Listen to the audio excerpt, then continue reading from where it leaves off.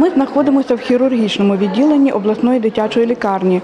Тут у п'ятій та шостій палатах лежать хлопці, які отримали опіки під час вибуху газу у клубі села Угринів Підгаєцького району. Це палата номер 5. Щойно з реанімаційного відділення сюди перевезли 13-річного Юрія Погребнюка, одного з трьох травмованих хлопців. Я почуваюся, як завжди, ідеально. Я, я живий і здоровий. Поруч з хлопцем його батько Любомир Погребнюк. Каже, син пробув у реанімації 6 днів. Був в теж тяжкому стані, але стабільному. Ну, але дякувати Богу, вийшов і хотілося б всі вийшли, вже перейшли в палату, і щоб всі були разом з батьками більше часу проводили. Поруч з Юрієм лежить 16-річний Богдан Гаврон. Хлопець розповідає. Пам'ятаю від того моменту, коли пішла хвиля вогню, і до того, як е, вибіг на дорогу. Пішла хвиля вогню, одразу почали діти горіти. Нас було вісім хлопців. Всі кричать, вибігають. Хто де, хто старається в сніг. Так як снігу було дуже багато.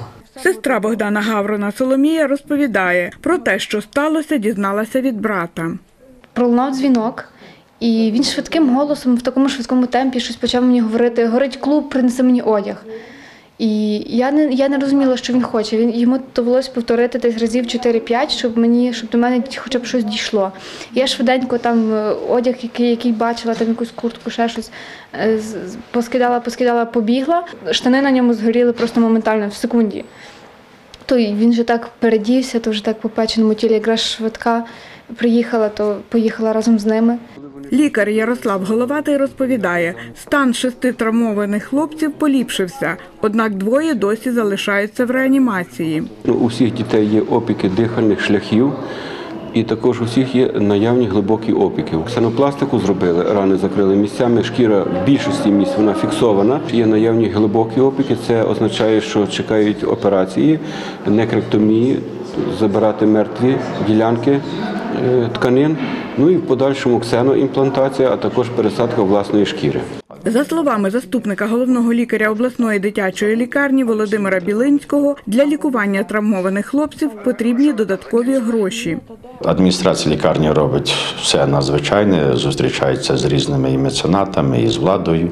Розумієте, які щоб меценати нам, яка от допомагали для дітей, е, тобто коштами, розумієте, бо лікувальний процес буде довгий час проводитися. Приходять постійно волонтери, постійно приходять різні меценати, які забезпечують нас е, різними фруктами, соками.